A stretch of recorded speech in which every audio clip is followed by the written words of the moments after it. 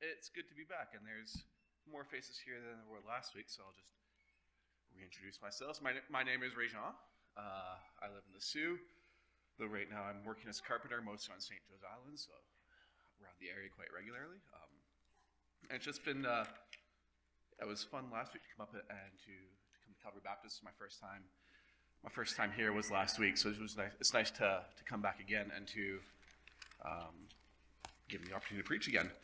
Um, going to a quick bit of review because I thought since I, I, was given two Sundays in a row, why not try and tie tie the two messages together in some way? So if we're going to do that, um, a bit of review of last week is helpful to, to kind of set the stage for what we're going to try and do this morning. So last week we looked at Luke chapter 20, uh, one, a famous story of Jesus, where a bunch of people come to him and ask him, "Do we pay taxes to Caesar or not?" And, and the, the answer is famous. Jesus asks for a denarius, a Roman coin, and asks the people whose image and likeness is on it. They say Caesar's, and Jesus' response was, Well, then give to Caesar that which is Caesar, and give to God's that which is God's.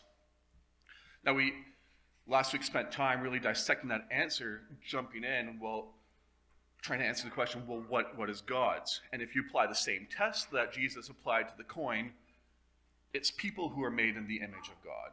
It's people who bear his inscription. So give, give yourself to God, since you are made in God's image. And I thought, well, let, us take this sermon, well, let's take this idea, and we'll, we'll come at it from a different angle this week. Um, uh, so, I'm going to spoil the end of know, the sermon. We're basically going to end up the same place we ended up last week. We're just going to take a different path to get there. Uh, today, we're going to try and, and look at the image of God as, as, an, as a concept as a whole. And usually I like to, when it comes to preaching, I like to find one passage and just kind of sit down and like park there.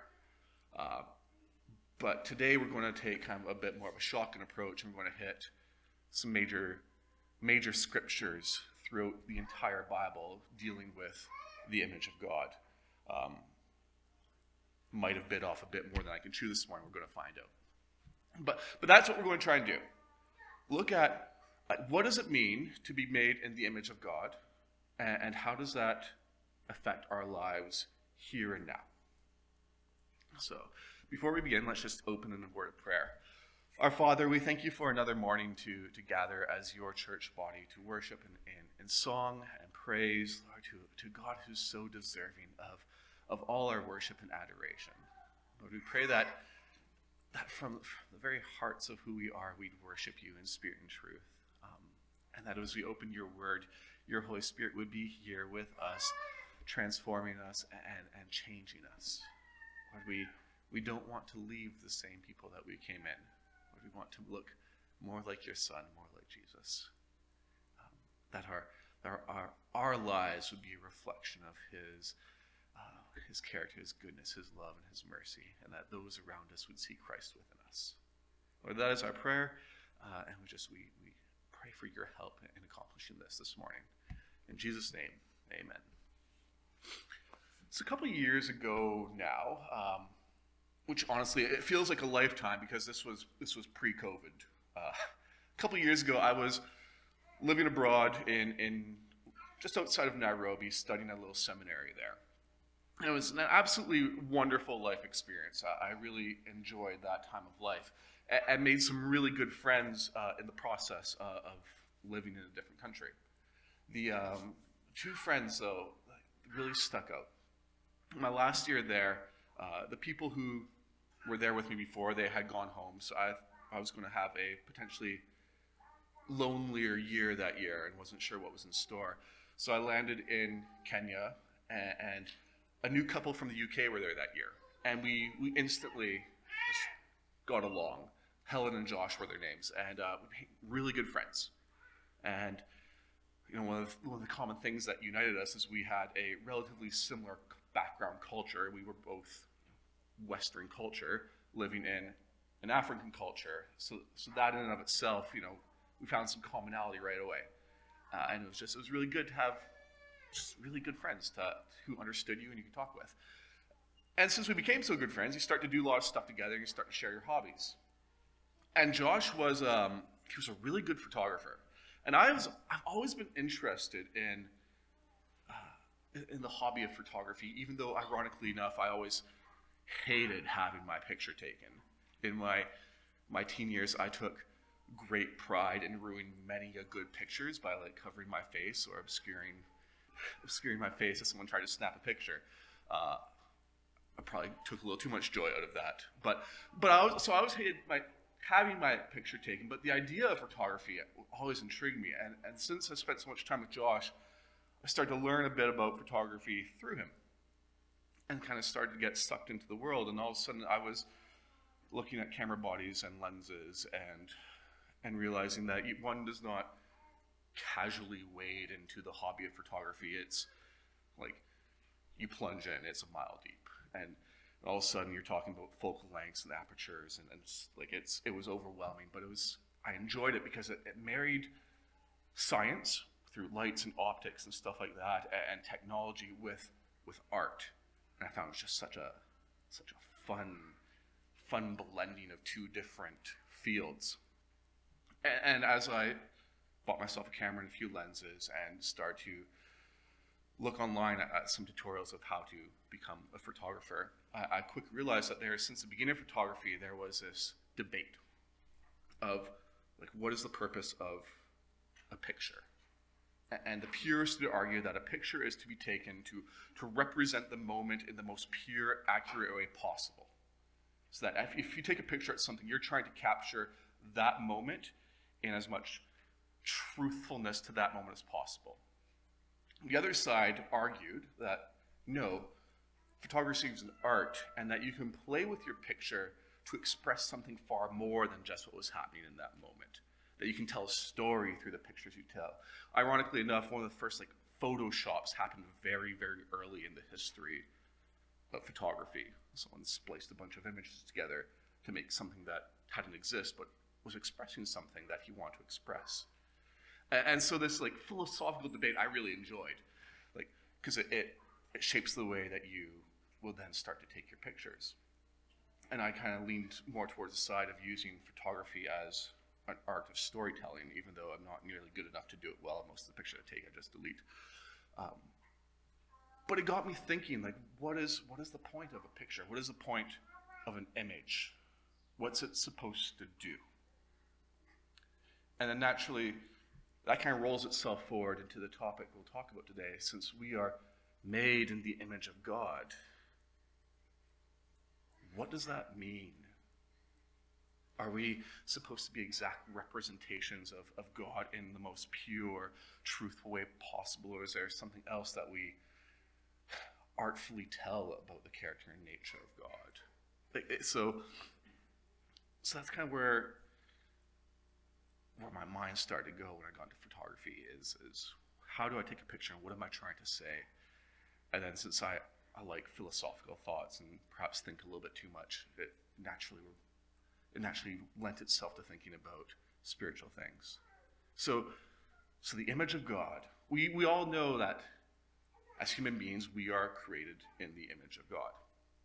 And we're going to go this morning, start off in Genesis 1 and looking at the very beginning. So Genesis 1, I'm going to read two verses off the hop, verses 26 and 27.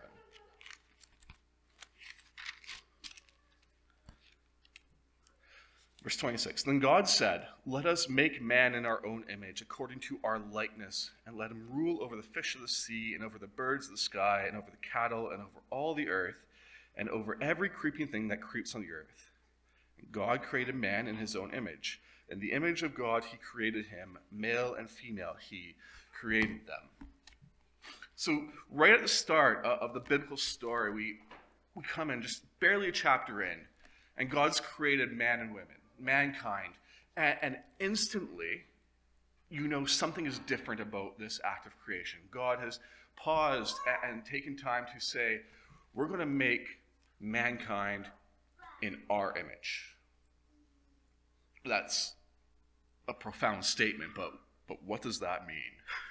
because how we interpret that really shapes a lot of how we go about life and, and our thoughts about who people are and what we're supposed to do. If we have a warped idea of what it means to be the image of God that's going to play itself out into every aspect of our life. So we want to try and get this right. In order to get stuff right, context is so helpful. So, so we're going to build, build, build a bit of context of what's going around so far in, in Genesis 1. And the great thing is that since we're at the, real, the very start of the Bible, there's not a whole lot of context we need to build.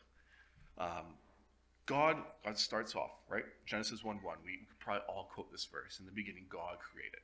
God created the heavens and the earth. And the earth was formless and void. Now, now this is important. The, these words, if you go to the Hebrew, it's kind of fun because the Hebrew writers actually like they rhymed these two words together, formless and void, because uh, the Hebrew writers are brilliant with their, their writing, and they, they often wove like poetic and, and rhymes and stuff together to, to emphasize points.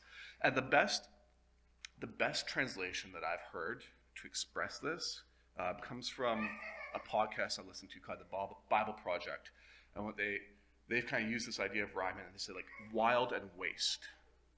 That that God created the heavens and the earth, and the earth was wild and waste, meaning like chaotic and devoid of life. And that's where it starts. And at the very, very beginning of creation, we see God start to do something as He starts to not just create the world, but He brings order to the world. So that world is created. And what does God do? He separates light and darkness, order. Light here, darkness there. Before it was chaotic. We see there's sea and land and it's chaotic and mixed. And what did God do? He brings order to it, splits it. Here's the sea, here's the land, here's the boundary point. God brings order to creation. And then once he brings order to creation, it's still devoid of life. So what does he do? He starts to fill it. He starts to fill it with life. The skies that he had ordered, put the stars and moon in motion, everything that he had planned were empty. So what does he do? He fills it. Fills it with birds, fills it with life. The seas and the land which were empty and void, what does he do? Plants and, and animals and, and everything that lives, God fills it. And then we get to Adam and Eve, creation of man. And God says, We're going to make man in our image. And he, so he does. But then it, what's, what's what happens next that's also really important because if you keep reading in verse 28, God says, God blessed them, and God said to them, Be fruitful and multiply, fill the earth and subdue it, rule over the fish of the sea and over the birds of the sky and over every living thing that moves on the earth. Fill the earth and subdue it. If we, were to, if we were to restate that, basically what God is saying is, I want you to continue the work I was doing of bringing order and bringing life. And that's your mandate. Uh, he, God started it off by by creating and ordering and filling everything. And then he creates man and says, Here's your mandate fill the earth and subdue it, calm it, cultivate it, bring order to it.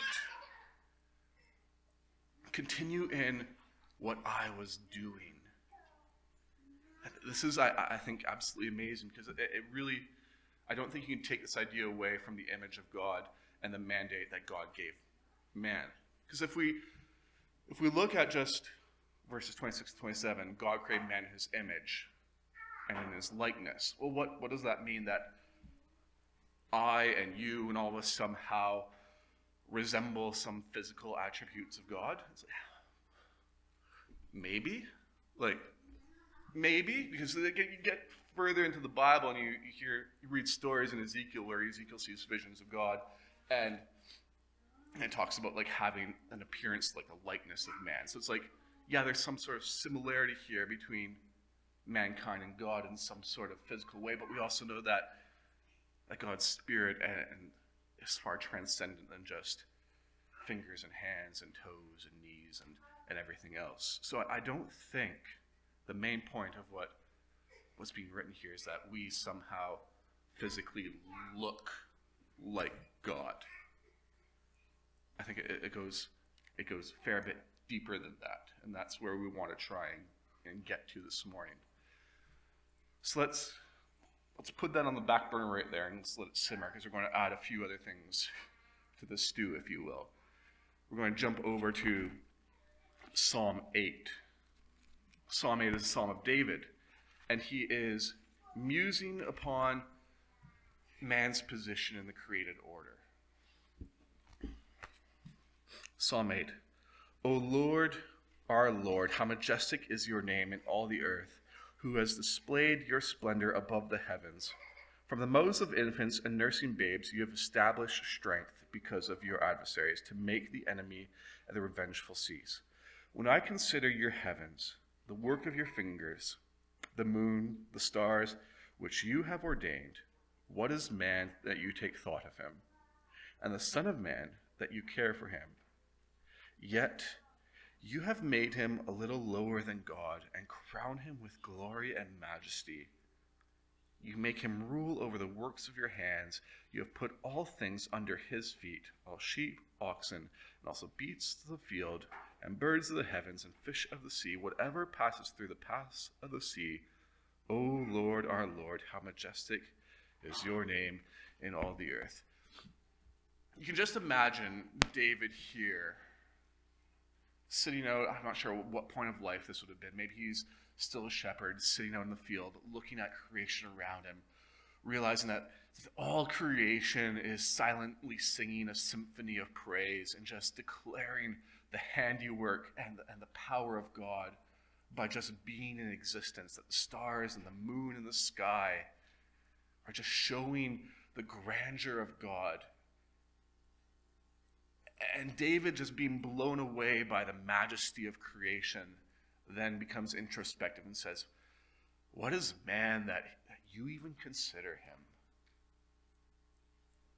But despite the fact that he, he sees man as so unworthy of, of being considered by God, he also realizes the fact that, that, that God made mankind in a special place of honor and glory. He even says, you have made him a little lower than God. That's the New American Standard Bible translation. Likely some of your translations will say a little lower than angels.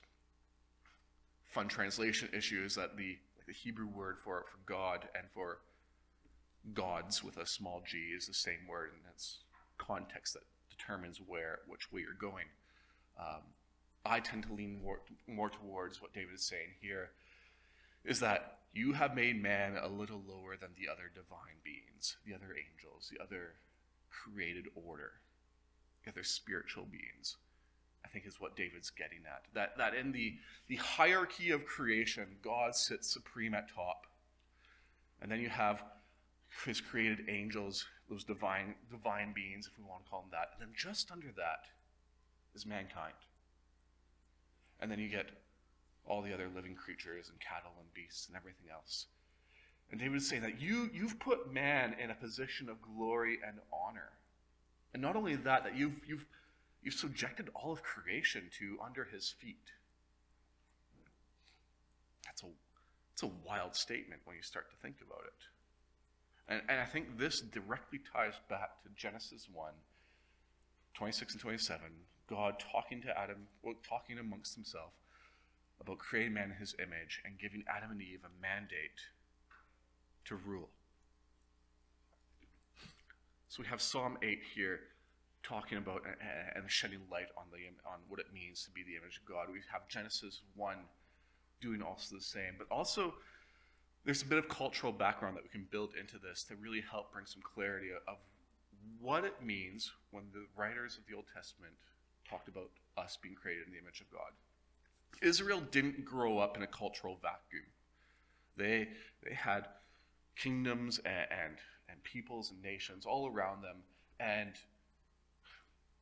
the culture of, of everyone in that time, like it, it flowed. So thoughts that happened over here flowed into Israel, and, Israel thoughts flew, flowed out and, and influenced nations around them. Like it wasn't isolated. And the idea of an image of God was not something foreign to the nations around it. In fact, they were quite comfortable with it. The difference was is that they would consider their king or the ruler to be made in the image of God. That, that he is the direct representative of the gods. He has divine power and authority to rule, that he is the one who the gods have chosen to rule in their place on earth. That kings were semi divine, for lack of a better, better word. And, and that they were the, the emissaries, the, the, those who, who worked out the will of the gods here on, on earth. Um, and, and they even built like statues and images to, to also represent that. An interesting fact is when you read through the Old Testament, the word image most often is associated with idols, something that images God and uh, a God and represents their authority and their rule and their power. That that that nations would set up images of, of their kings or images of their gods to represent here's the authority of this God, here is the rule of this God, and, we are to obey that rule and that authority. So, so it wasn't a foreign idea in that time for a man to be created in the image of God. But what was scandalous about Jewish thought about, about the Old Testament is that every man and every woman, woman was made in the image of God. That, that was something radical. From the king to the farmer and everyone in between, all of them, all of them bore the image of God. All of them were to be his representative, to work out his will, to work out his plans and his purposes. And that's that's what's radical about what's being written here in the Bible that you and I made in the image of God given a mandate to rule and to subdue the earth and to bring order to it. In doing so, we live out the plans and the purposes and the desire of God who created us in his image. That is what it means to be made in the image of God. That we are the representatives, representatives here on earth of his divine will and power and authority, and that we are obedient to his plans and his purposes that he has called us to. And we see that in Genesis 1, given a mandate right off the bat rule over creation, subdue it, fill the earth with life.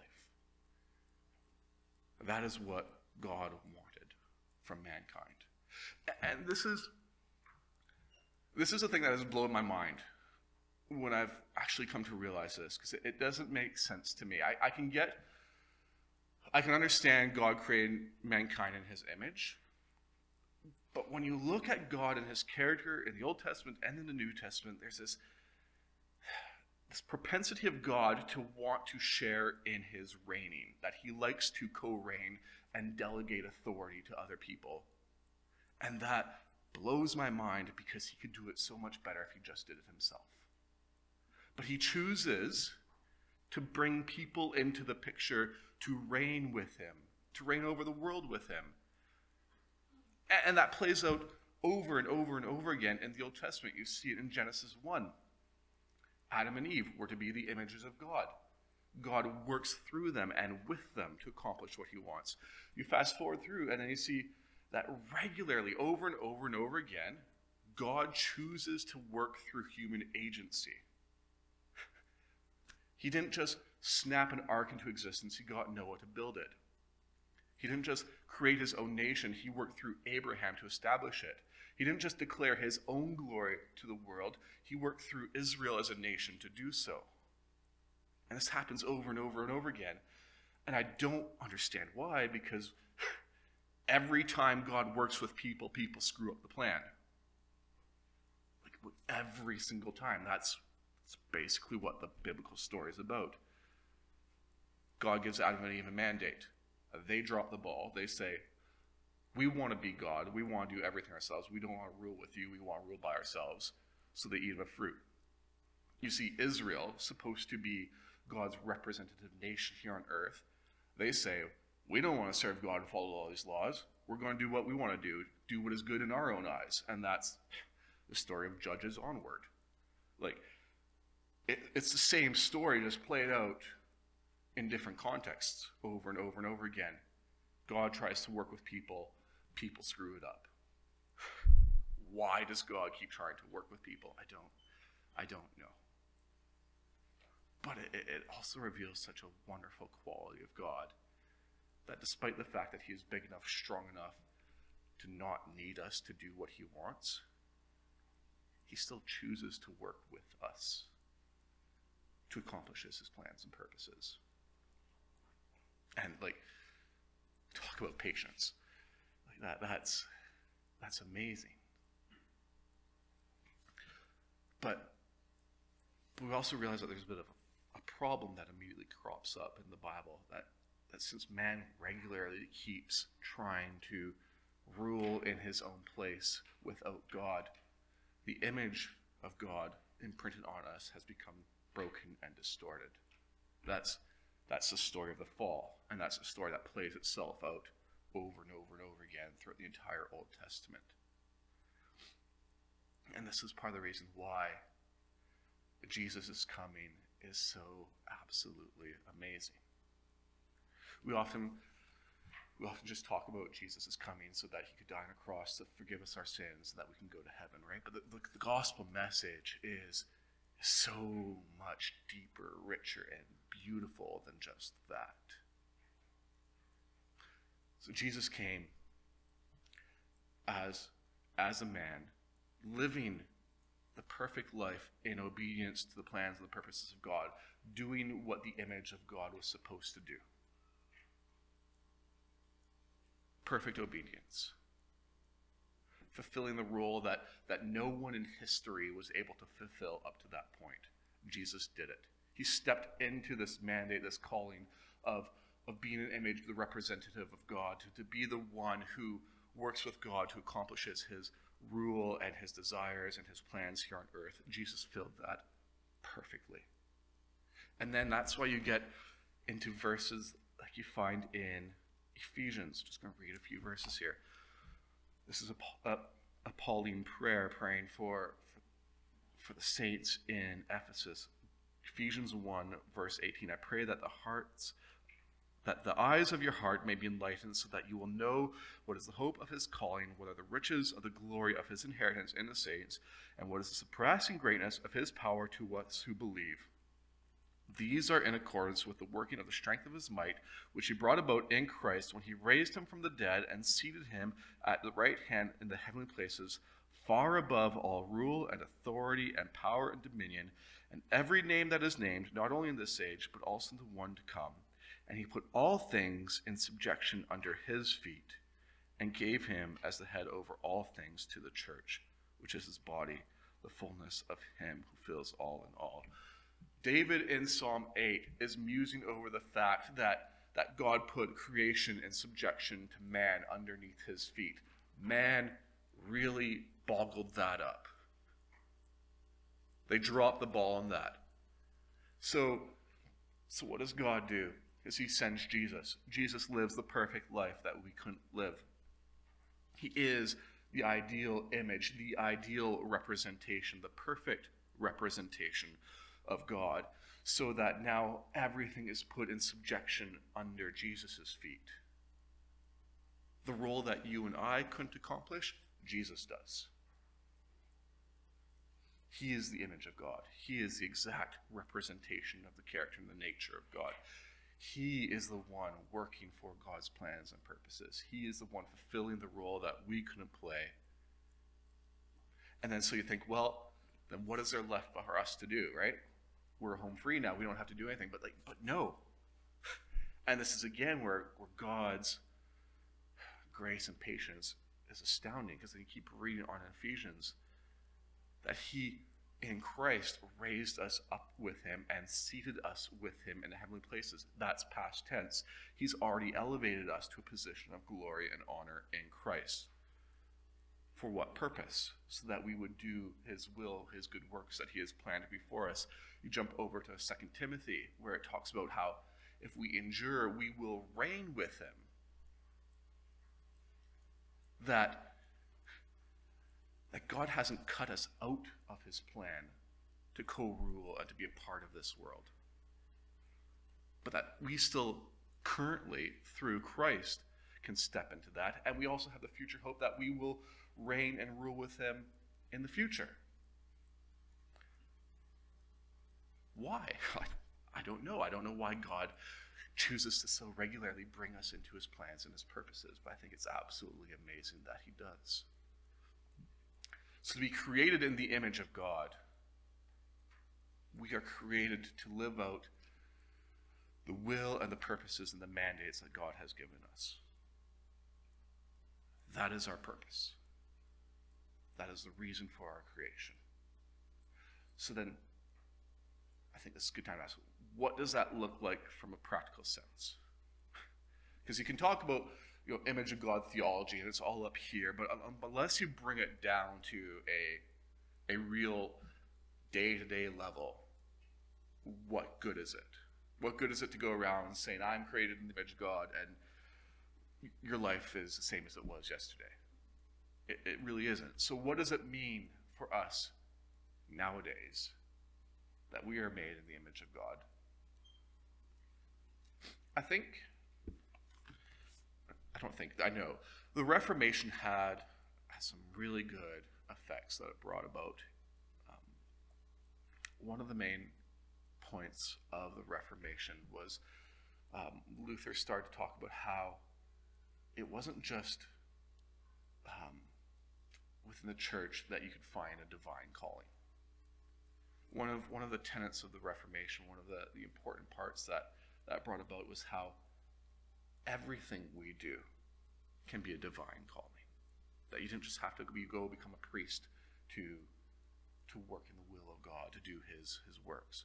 But this is to quote Luther, you could sweep the streets and do so in a way that is in line with God's calling and, and brings glory and honor and worship to Him. How everything we do in life can be done in a way that expresses God's plans and His purposes and aligns with His will and His desire for us.